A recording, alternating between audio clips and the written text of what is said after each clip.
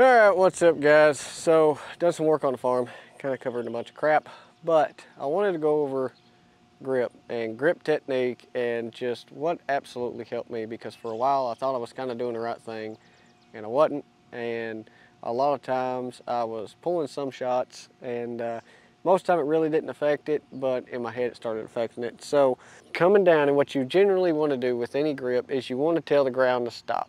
So you want your hand at a 45 degree angle and you want, what I would do, what I do now, is I will tell the ground to stop and I will put, go in and do top and then roll my hand down.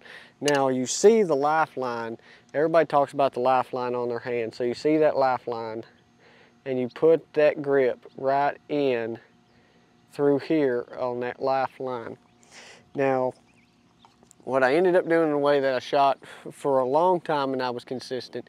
And like I said, it what, what happened never really mattered, but over time it would just play back in my head. So what I would do now is I would tell the ground to stop and I will come in top and I'd roll down into that lifeline, which is the correct way to do it. But then I would rest my fingers on the end of my riser and just rest them just like that. Well, that worked out great. But when I started getting into pressure scenarios, what I ended up doing was I would start, instead of pushing into my bow, I would start tightening up my fingers.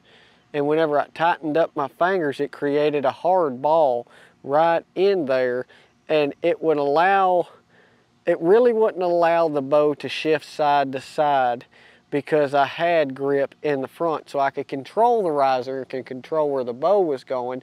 But at some point I had too much control of where the bow was going. And whenever I would break I would pull shots. Now it wouldn't be off a lot. It'd be off maybe about an inch or two but that was an inch or two in tournaments that I couldn't sacrifice. So in my head what I would end up doing is when I would tighten that fingers up, another thing, when I tighten them fingers up in my head, I know I'm doing it. And then it would take my execution of my shot longer because in my head, I'm like, loosen that grip, loosen that grip, loosen that grip. When I finally loosened the grip, then I broke the shot. Well, about that time I got tired and I started hitting low. So, what helped me out the most in my grip and in my shot? We all have paper towels. And what helped me out is I would take that paper towel and I would fold it up, just like I'm folding it up here, and I would lay it in front of that grip. So I'd still come in till the ground stopped, 45 degree angle, but instead of resting my fingers on the grip like this, I will come in and add that paper towel and it made it to where my I would overlap my hand on my grip. I would overlap it and then I would do what I would call melt that butter. So when I melted the butter, what that meant is I would just completely relax my hand and it would just sink my palm into that grip and it just made it rock solid. So I had I still had control of the bow. So I still got control of the bow. I still got a good flat surface for that grip to rest on. But with my hands overlapping, I'm not torquing it.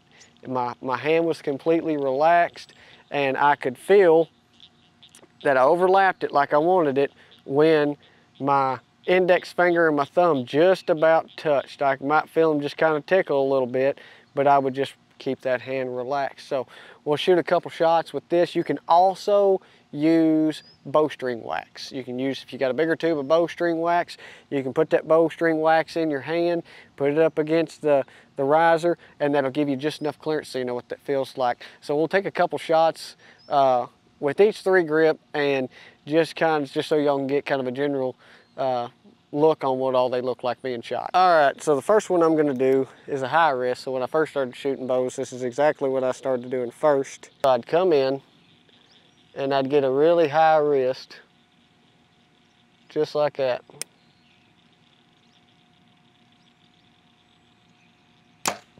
And I'd shoot. So the bow would leave my hand like it was supposed to. Everything felt felt fairly decent, but over time, like I said, you'll start sinking down. Okay, so the second one, we're gonna touch just the front of the riser. We're gonna do the proper grip, tell the ground stop. And this works, I mean, it works. Uh, just, for me personally, it got to my head in pressure situations, like I said, that I'd be touching that riser and I would just tighten my grip up. But for a lot of people, touching the front of the riser works. If it works for you, good. If it don't, that's what this is for. So I'll go in I'll touch the front of the riser.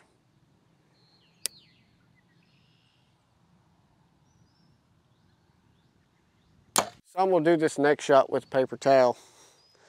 And a great thing about this paper towel is, is whenever you shoot, you know you're tightening your fingers up because that paper towel's got give. So whenever you tighten your fingers up, you'll feel that paper towel squish and you know to let off of it. But what I'll do now is I'll go ahead and I'll tell the ground to stop. I'll get a full grip around it.